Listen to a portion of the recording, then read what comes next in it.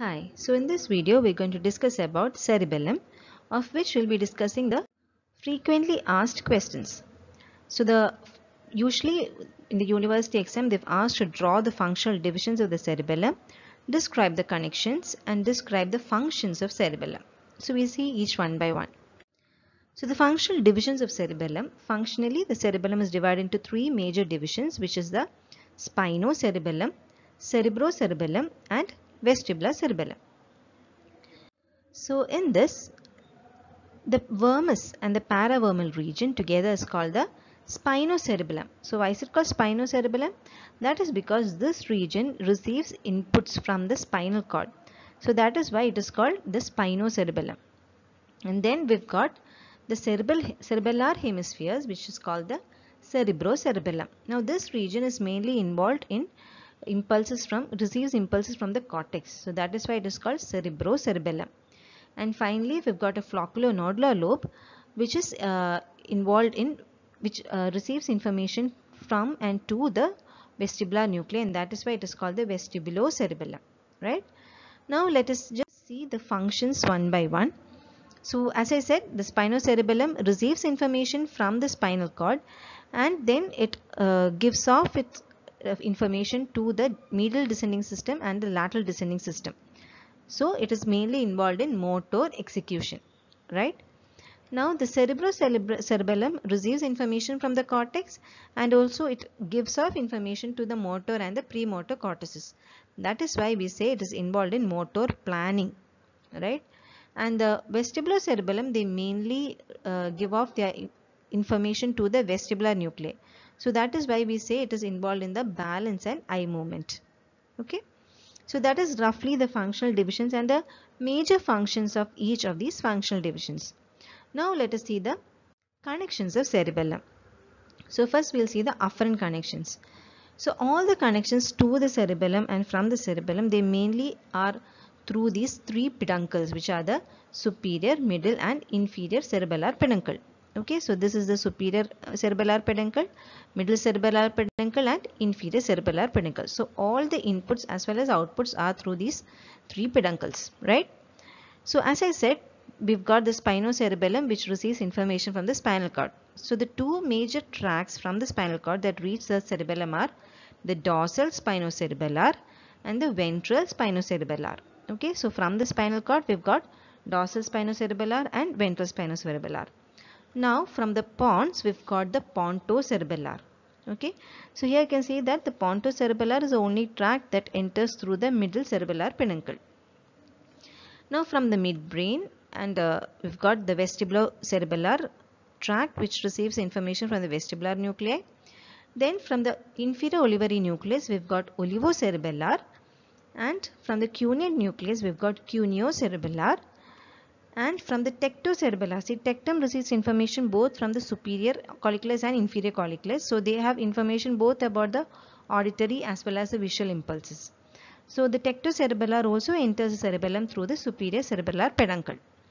So, these are the major afferent connections to the cerebellum and each have got their own functions.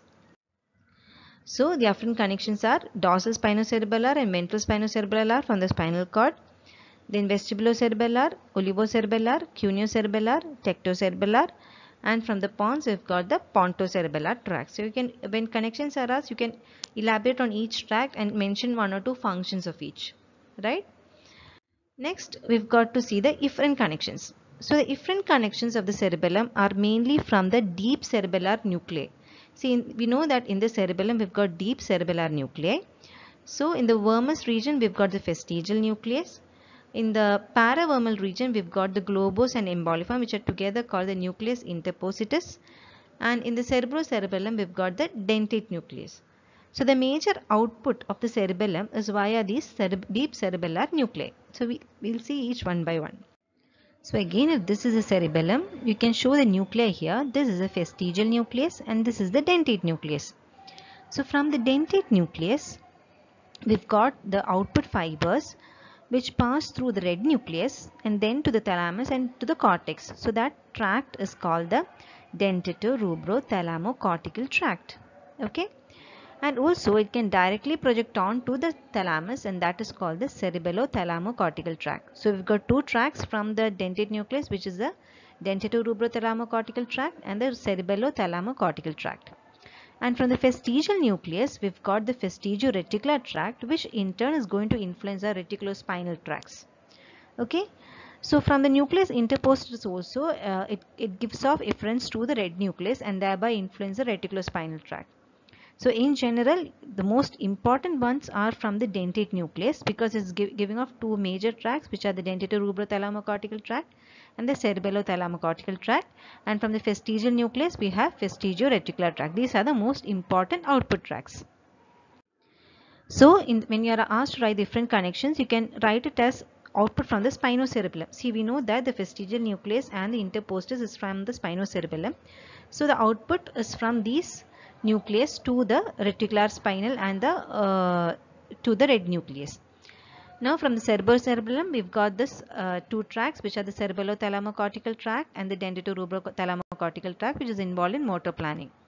And from the vestibulocerebellum we've got the it, it, it gives off its impulses directly to the vestibular nuclei. So it is involved in uh, the vestibulospinal tract. It influences the vestibulospinal tract. So these are the efferent connections.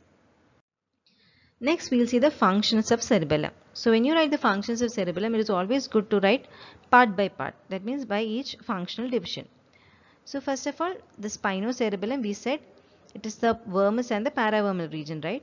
Its main function is smoothing and coordination of movement. So how is it able to smoothen and coordinate movement? See this, the spinocerebellum, as I said, it receives information from the spinal cord, right? And it also receives a motor plan from the cerebral cortex. So they will compare both and they will be able to uh, have an error detection if a movement is carried out and because of this function it is able to smoothen and coordinate the movement. It can also control the posture because see the vermal region is mainly having its output to the medial descending system which is involved in posture. So there uh, the spinocerebellum can control the posture and it can also control skilled voluntary movements. Why? because the paravermal region mainly supply mainly gives output to the lateral descending system which is uh, involved in fine distal movements. So thus the spinocerebellum can control skilled voluntary movements and also it can control tone and stretch reflexes via these medial descending systems. So these are the functions of the spinocerebellum. Next cerebrocerebellum we said it's got it receives and gives output to the cortex so that is why it is involved in planning and programming of movements. It also controls the movements of one side of the body and it's also helpful in learning and improvement of motor skills. Okay. Next for vestibulocerebellum, it's got control of posture balance and equilibrium. It's also involved in eyeball movement and also vestibular functions. So because its main functions are to the vestibular nuclei, it is involved in posture balance and equilibrium as well as eye movements. Right. So these are the functions of the cerebellum. You can write it as each division. So when questions on cerebellum are asked, you can also write some additional scoring points like the applied aspects. So what happens when there is a damage to cerebellum? So you know it includes hypotonia, ataxia and intention tremor. So you can just mention these for a completion sake. So to summarize, we've mentioned about the functional divisions of the cerebellum We've seen the afferent connections as well as the efferent connections and we've mentioned about the deep cerebellar nuclei and also we've seen the functions of the cerebellum.